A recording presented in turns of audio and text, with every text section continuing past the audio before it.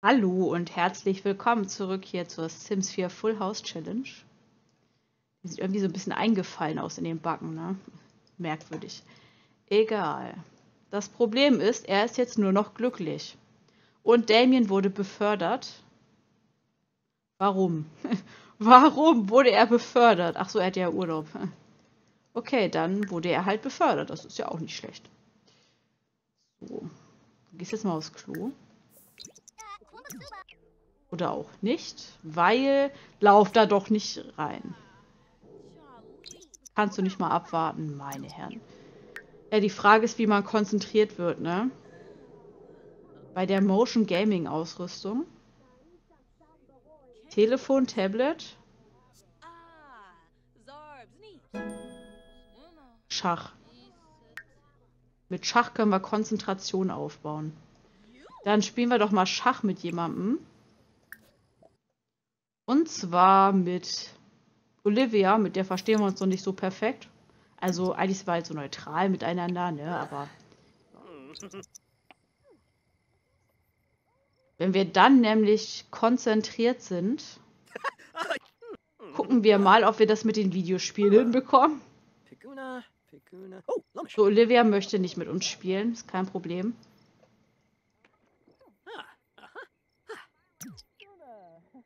Wir können ja mal aufhören und mit... Spielen wir doch mit Victor. Victor ist bestimmt der Typ, der mich nicht hängen lässt. Willst du mich verarschen jetzt? Egal. Dann nutzen wir jetzt sie.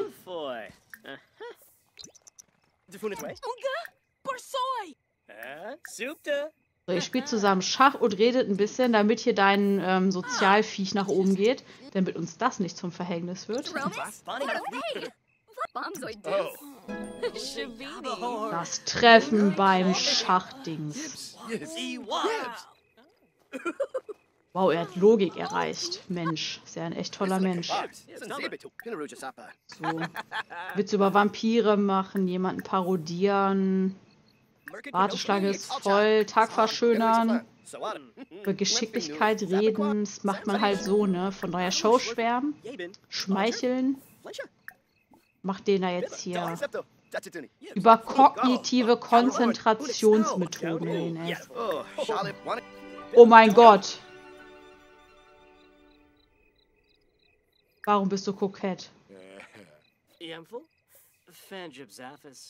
Oh. Habe ich aus Versehen was gemacht? Was? Oh nein. Das war so nicht geplant. Über Interessen reden. Über Logikrätsel reden. Das funktioniert hier nicht so, wie ich mir das dachte mit dem Schachtisch. Okay, was auch immer du tust, geh erstmal kalt duschen. Du möchtest nämlich nicht kokett sein mit äh, deinem Nachbarn hier. Oh, Alte. Immerhin duscht er weiter, ja. Es ist schon mal ein Meilenstein. Ja. Aber du kannst jetzt einfach ins Bett gehen, weil sonst bringt das nichts. Er hat auch noch so einen alten PC, er auch. Er hat noch gar keinen. Wie haben wir den geklaut, weil der kaputt war? Hier haben wir aber schon neue PCs gekauft, ne? Ihr hatten wir noch keinen. Sie hat auch noch einen alten PC. Er auch. Oh. Irgendwie haben alle einen alten PC, außer sie jetzt. Aber gut zu wissen. Dann können irgendwann alle schöne neue PCs bekommen. Dann ist es kein Problem. So, ich möchte für ihn nämlich auch schon hier was einstellen, was er jetzt machen soll. Und zwar die Toilette verwenden, eine erfrischende Dusche nehmen. Und dann darfst du hier anfangen, die Sachen zu reparieren. Ich weiß ja nicht, wie ich auf die Idee komme, dass ich Sachen reparieren möchte, weil hier alles kaputt ist. Nein. Aufwischen. Und dann darfst du das mal aufräumen. Und dann ist seine Leiste schon voll. Aber ich finde es immer praktisch, das dann den Leuten aufzubrummen die wir dann gleich eh nicht mehr spielen müssen. Das hat schon was. Und das hat schon was. Was natürlich einfacher wäre, wenn wir halt so einen regelmäßigen Gartenservice und ähm, einen Haushaltsservice haben, aber das wollen wir ja bewusst nicht haben.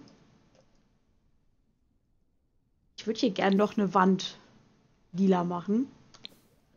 Also nebenbei gesagt, können wir das jetzt auch mal schnell machen.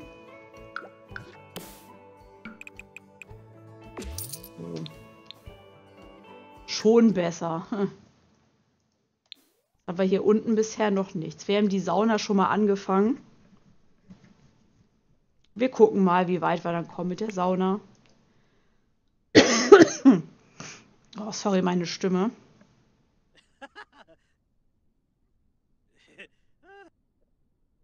Und meinem einen Arm wird langsam kalt.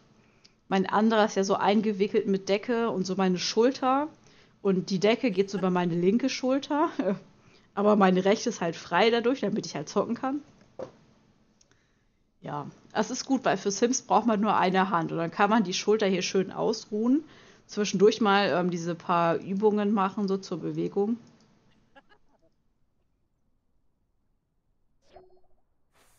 So, Lilly muss dann bei der Arbeit sein. So, er hat schön ausgepennt. Dann kann er jetzt auch mal... So, er muss doch bestimmt dann für die nächste Beförderungsstufe Level 6 Programmierfähigkeit. Entwicklungsschiff. Programmieren noch nicht begonnen. Digga, geh raus. Ich will aufs Klo. Digga, ich gehe doch nicht aufs Klo. Ich singe erstmal unter der Dusche Müll leeren. So, und dann darfst du bewässern. Oh, meine Stimme, ey. hm. So. Der ist, glaube ich, erstmal gut ausgelastet. Und danach darfst du ein Gourmet-Menü zubereiten. Und zwar Pasta in Partygröße. Das ist doch gut. Achso, und was ich ihm noch kaufen wollte, dass das äh, mittlerweile mal alle haben,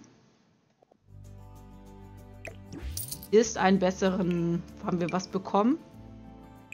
Ah den wir sind so geil Preis. Den stellen wir hier mal hin für ihn. Er hat das ja auch durch seine Beförderung bekommen. Das ist außer Technikkarriere. Also ich weiß das, weil ich gerade ähm, in einem anderen Spiel auch, also in einem anderen Sims Spielstand auch mit der Technikkarriere am Gange war oder bin.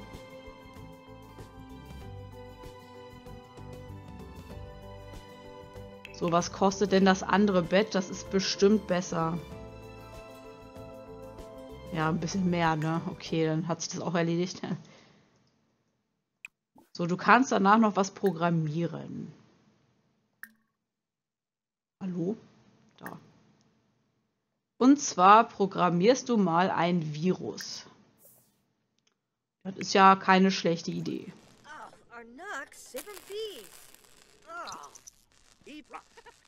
Hat das doch repariert bevor? Achso, wir haben das Essen da schon mit eingeplant. Okay. Dann darfst du das wegwerfen. Und die Pfütze aufwischen. Und dann können wir nämlich jetzt guten Gewissens zu Victor wechseln. So, ich werde mal ganz kurz speichern, bevor hier irgendwas passiert. ich hier alles mühselig erspielt habe und plötzlich, keine Ahnung, Stromausfall oder so. Ist ja nicht so, als ob das nicht passieren könnte. Nein. So, Victor muss in einer Stunde bei der Arbeit sein. Das werden wir ändern. Du darfst fleißig arbeiten. Aber Victor möchte sich einen Urlaubstag nehmen. Victor hat noch so ein äh, Gammelbett anscheinend. Ja, aber du darfst danach noch mal kurz weiter schlafen. Zu Victor diese, diese Föhnsachen und Männerdeo und sowas. Er muss erstmal diskutieren, dass er einen Tag frei bekommt. Nicht, dass er noch fünf hat. Also er hatte sechs und jetzt hat er fünf. Ja, genau. Ach ja, leitender Angestellter Nummer, Nummer 6, ja. Ähm, Karriere Level 6. Er hat ja noch so einen Gammelfernseher, das müssen wir auch noch ändern. Ach, er hätte schon den tollen, ne? Ach, nee, hat auch so einen.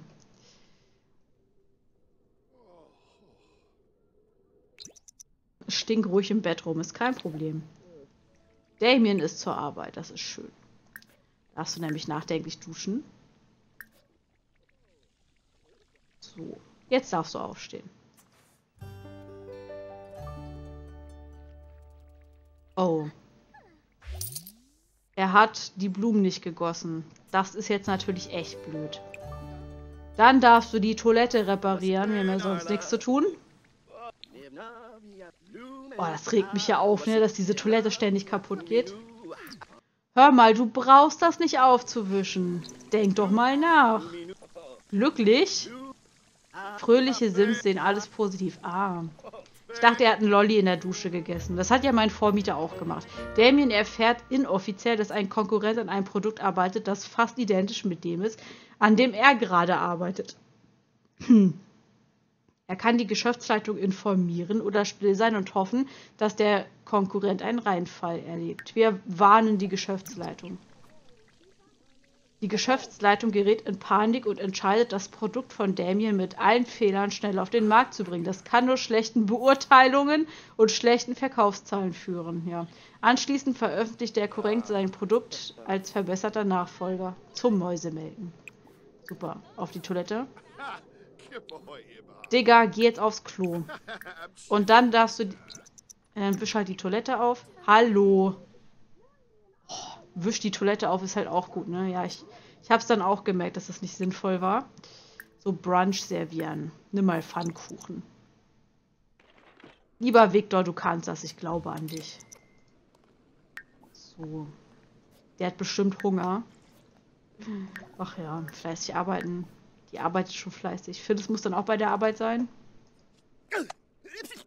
Hat er gerade seinen Kopf da reingeworfen? Ich hoffe nicht. Also er sieht zumindest nicht so aus.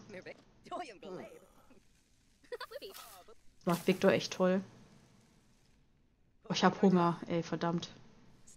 Ja, acht Minuten, dann kann ich mein, meine Piccolinis in den Ofen werfen. Ich habe diese vier Käse-Piccolinis noch. Da habe ich jetzt auch voll Bock drauf. So Salami wäre jetzt nicht so geil. Ja, nimm mal ein. Und dann darfst du...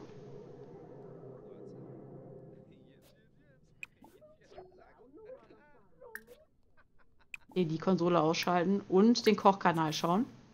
Ich werde etwas verwirrt. Mit Claudio plaudern. Brauchst du nicht. Hol Claudio her. Ach, du brauchst gar nicht zu reden. Das ist auch noch, noch besser. So, hier können wir bald den Garten aufbessern. Ich glaube, es macht Sinn, wenn wir diese Blumentöpfe noch einen nach vorne stellen. So. Dass man nämlich auch hier hinten lang gehen kann.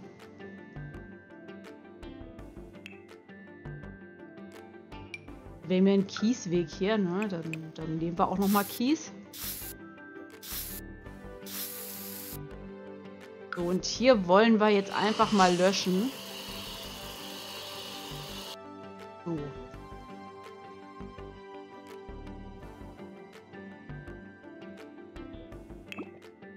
Überlege, ob wir die jetzt auch einfach mal so hier hinstellen.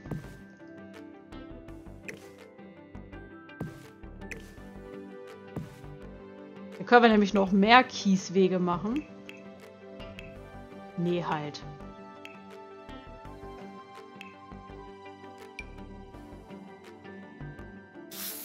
So, dieses Beet da können wir ja quasi lassen. So, ich werde gleich eh nochmal den Löscher hier gebrauchen, also von daher.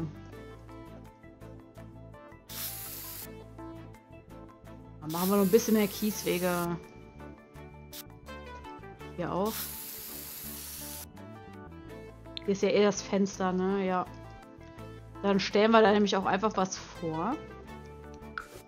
So.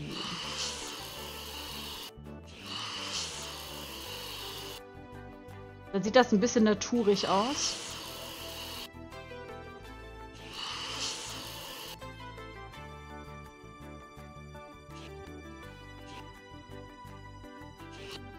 Eigentlich könnten wir hier so kleine Bäume anpflanzen. Das wäre noch echt cool. So, aber ich würde hier gern irgendwie so, dass man so zwei hier in der Ecke hat. Oh, Moment. Versuche hier kreativ zu werden.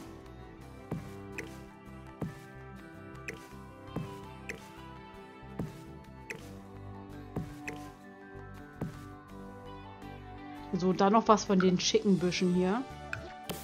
So, der Busch gibt nämlich Umgebung. Und dann kann man den nämlich ziemlich cool hier mit einbauen.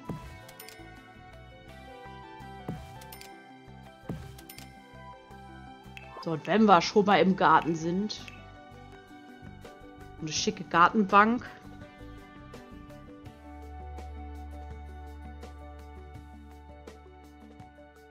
Und was bietet sich denn so an? So ein Ottomane wäre auch nicht schlecht, ne?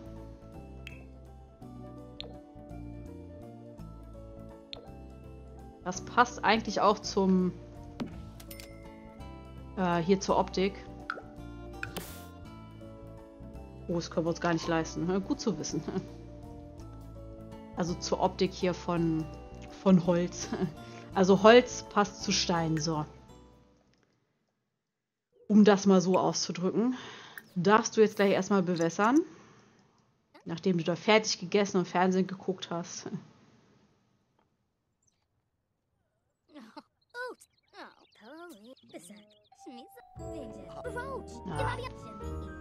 Nervt mich ja immer fast dezent. So, dann können wir den noch weiterentwickeln. Den. Sonst aber auch nicht mehr viele, ne? Sieht zumindest nicht so aus. Ja, mach doch auf schnell. Hier glitzert auch nichts mehr. Aber das hier können wir erstmal gegen Käfer einsprühen. Ich sehe schon. Wir sind irgendwie nur noch mit diesem Garten beschäftigt im Moment. Fleißig arbeiten.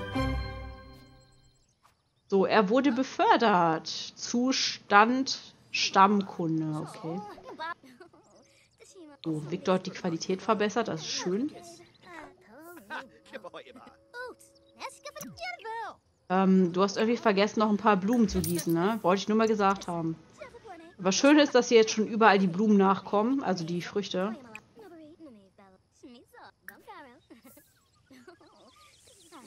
Warum haben die denn ständig Käfer? Ich verstehe das nicht. So, Victor hat seinen freien Tag mit Gartenarbeit verbracht, mal wieder, so wie jeder andere Sims im Moment in diesem Haushalt.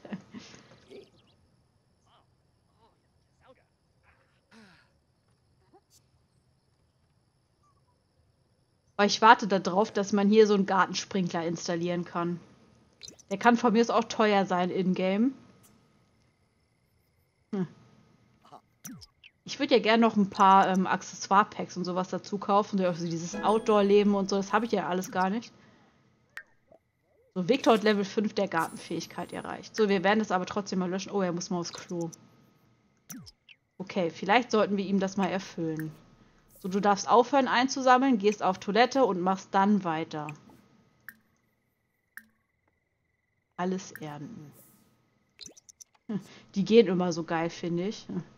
Immer sehr cool. So, sie arbeitet schon fleißig. Lacht er sich auf Toilette schlapp? Mache ich auch, jeden Tag. Ich setze mich erstmal eine Runde auf Toilette und lache, weil das ähm, ist gesund fürs Leben. Kann ich bestätigen. Sollte man auf jeden Fall machen. Und so, und dann darfst du dir einen Pfannkuchen nehmen. Und dazu den Kochkanal schauen.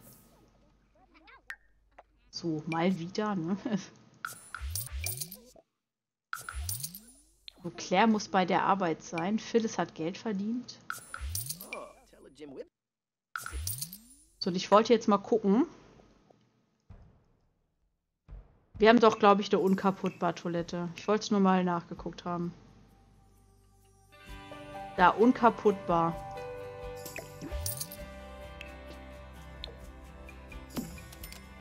So, und ein Spülbecken. Gibt es denn hier etwas?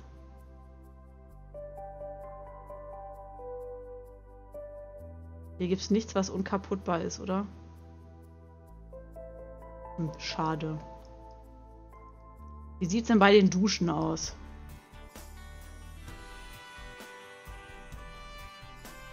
Okay.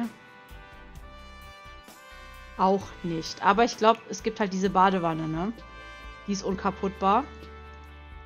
Und ich will jetzt auch eine davon kaufen.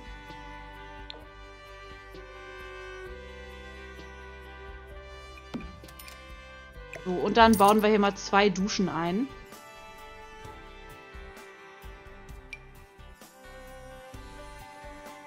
Wir nehmen mal hiervon.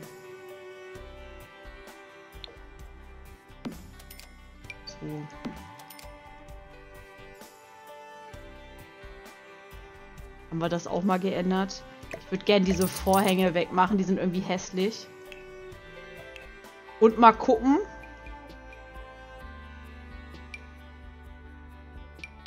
Ob es nicht auch schönere Vorhänge gibt. Ja, wir nehmen erstmal die. Besser als gar keine Vorhänge. So. Jetzt haben wir aber auch äh, die Zeit rumgekriegt. So. Schön beim Fernsehen gucken. Beende ich jetzt den Part. Und sage vielen Dank fürs Zuschauen. Ihr könnt gerne was in die Kommentare schreiben. Und damit ciao und bis zum nächsten Part.